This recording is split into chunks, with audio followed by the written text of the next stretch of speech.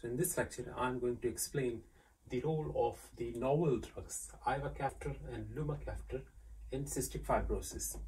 Now you know cystic fibrosis is an autosomal recessive condition and it's a multi-organ disease in which the basic problem is that there are very thick secretions, especially uh, in the linings of the airways. Uh, the secretions are so thick that the kids they get repeated chest infections and usually the quality of their life is very poor because they suffer from repeated infections and they have to be given repeated courses of antibiotics to treat different types of infections. Uh, these secretions are colonized by uh, Staphylococcus aureus, by Pseudomonas uh, aeruginosa, and Burkholderia, and uh, because of that, usually they also suffer from failure to thrive. There are other organs involved as well, like uh, the gastrointestinal system is also involved. And so far, the traditional therapy has focused on treatment of these infections and all the supportive management, which includes giving them good nutrition, giving them digestive enzymes, and treating infections as and when they arrive. Now, since 2017, now we have got two novel drugs, ivacaftor and lumacaftor, which has changed the management of cystic fibrosis. And these are considered to be specific drugs because they basically target the underlying pathophysiology in cystic fibrosis. So let's discuss about uh, these two drugs. How do they act? However, for that, you need to understand the basic pathophysiology. Now, the basic pathophysiology in cystic fibrosis is that the chloride channels are faulty. Now, this is the structure of the chloride channel. The chloride channel is responsible for sending the chloride ions out of the cell. So this is the cell membrane, this is the chloride channel and when this channel is working, it would shift the chloride ions from inside of the cell to outside. Now this channel is composed of different proteins and this channel is encoded, part of this channel is encoded by the CFTR gene. Now the CFTR gene which is present on the long arm of chromosome 7, CFTR. This stands for cystic fibrosis transmembrane regulator gene. Now if this gene is faulty, what happens? This gene actually signals the uh, production of a protein which is part of this. So this part that you are seeing here, this part of the protein, that is signaled by the CFTR gene.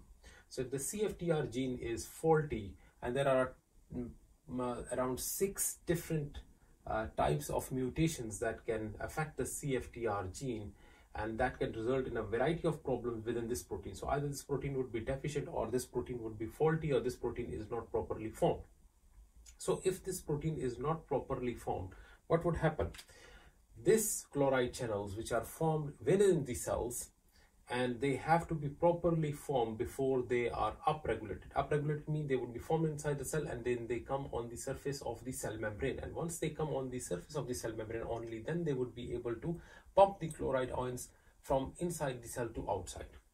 Now, if the CFTR gene is uh, has got problems like a mutation or deletion, which happens in cystic fibrosis, so part of this protein would not be formed or this protein would be deficient. So when this is deficient, this whole channel is deficient in structure. So what would happen?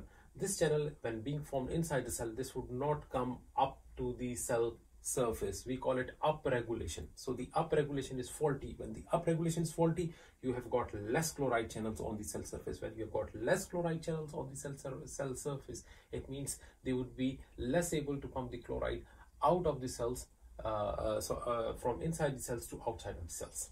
Now, at the same time, when this protein is functioning, it has also got an associated function with the E voltage gated sodium channels, ENaC. So it stands for E voltage gated sodium channels.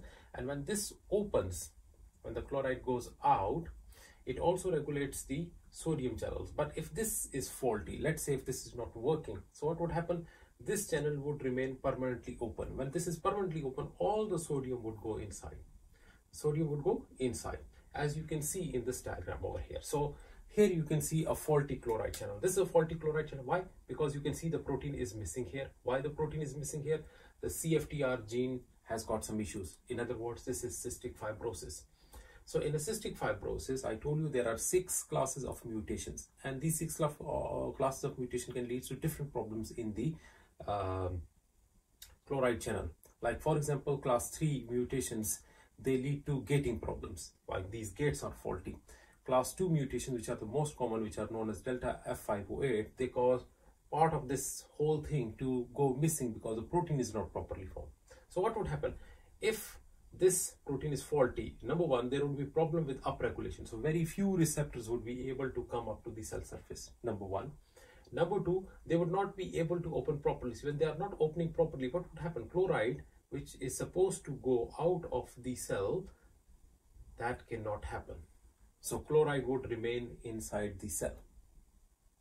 When chloride remains uh, uh, inside the cell, there is a permanent opening because this is coupled with this ENaC, uh, E voltage sodium channels and the sodium channel would remain open. So what would happen? All the sodium would start coming in.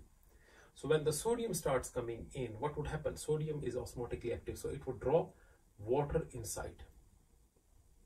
So when water goes inside, especially if this is an uh, what you call a cavitary epithelium, like for example endothelial surfaces. So there is mucus here. This mucus water would go inside. When mucus water goes inside, it would become thick. It would become viscid. And a thick mucus is very difficult to move. So even if there are cilia here, it would not be able to move the mucus. Especially that happens in the airways. So there is thick mucus which cannot be, um, you know, uh, moved by the cilia. So this big thick mucus becomes a very rich medium for bacteria and that's why these kids they get repeated bacterial infections. The same goes in pancreas as well. The pancreas, if this is the pancreas organ, what would happen? The sodium and the water moves inside. There is very thick uh, secretions, and these, uh, you know, pancreatic juices which contain digestive enzyme, they are they cannot move, so they would remain inside the pancreas. And what would happen? The child would not get the digestive enzyme, so the food that he's taking would not be digested and he would suffer from malabsorption. He would suffer from chronic diarrhea. In another word, that would lead to failure to thrive.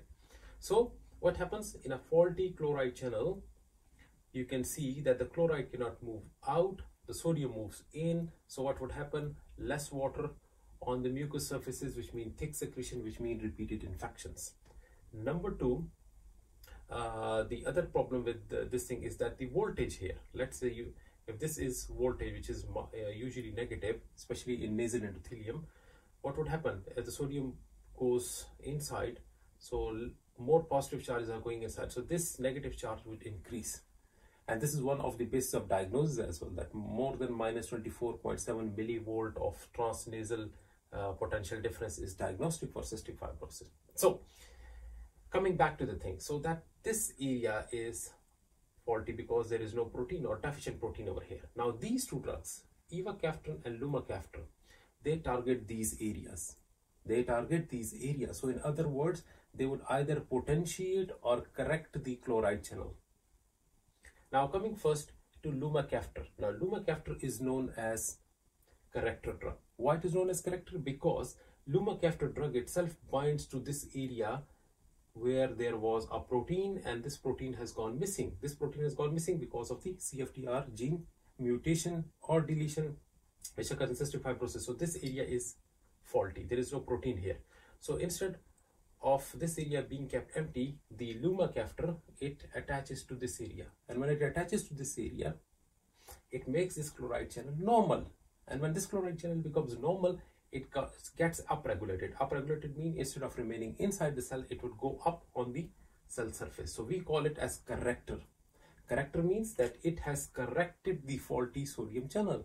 So this faulty sodium channel would be upregulated and you will get the normal numbers of chloride channel on the cell surface. So when you got normal number of uh, chloride channels and they are now normal because the drug itself has bound to the area where there was a protein now the chloride channel would function normally and this would reverse the pathophysiology which happens in cystic fibrosis. So lumacaftor is the corrector drug. Now lumacaftor actually upregulates the receptors because it has corrected the structure of the uh, chloride channel. Ivacaftor, uh, on the contrary, is a potentiator. Now, ivacaftor does not correct the structure of the chloride channel. What it does, it binds to specific sites on the chloride channel and it potentiates. Potentiates mean that it helps in opening of this channel. It helps to keep the channel open. So when the channel is open, the chloride ions would be able to move out of the cell. In other words, the chloride channel would start functioning normally. And you know that basic problem in cystic fibrosis, number one, defective structure of the chloride channel and defective gating. Gating means that it cannot, the gate cannot open and close properly. So the gate remains closed, it doesn't open. So one drug, lumacaftor, which is a corrector drug, it corrects the structure of the chloride channel, which occurs in certain types of uh, mutations, especially delta F508 uh, mutations. And the ivacaftor especially helps in class 3 mutations, the gating problems in which there is no problem with the structure, but there is problem with the opening of the channels. So ivacaftor is a potentiator because it helps in the potentiation of this uh, channel and keeps it open so that the chloride can move from inside of the cell to outside. These day, uh, uh, days, in certain types of cystic fibrosis, you've got problems both with the gating of the chloride channel as well as the structure of the chloride channel. So a combination of ivacaftor and lumacaftor is given. So remember when the uh, cystic fibrosis specialists are prescribing these medications, it is very important to understand which types of mutations or which type, which class of mutations have occurred because whether you have to give a ivacaftor, whether you have to give lumacaftor, or whether you have to give a combination of these two depends on which type of underlying mutation is present. So class 3 mutations where there is only problem with the gating of the chloride channels, ivacaftor is prescribed solely. Where there is a problem both with gating and with the structure of the chloride channel then a combination of ivacaftor and lumacaftor is given. And these days it is present in uh, combination therapy. Since 2017 FDA has approved ivacaftor alone as well as ivacaftor and lumacaftor combination for the treatment of cystic fibrosis.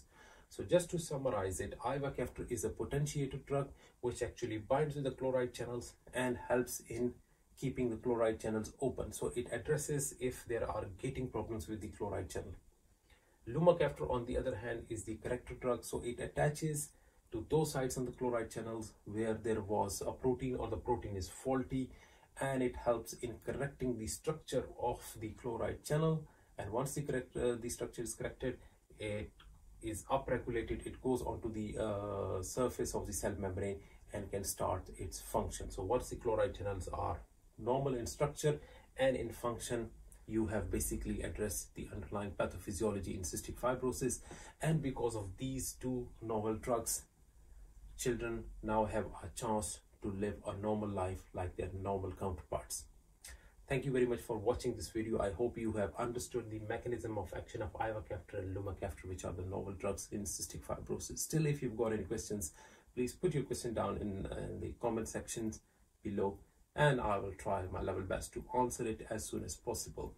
And before I leave, those of you uh, who are meeting me for the first time, my name is Dr. Syed Kazmi and uh, this is my YouTube channel. So if you haven't subscribed, please subscribe. If you have liked this video, uh, give me a thumbs up and uh, share it with your friends. Uh, have a very good day and bye-bye.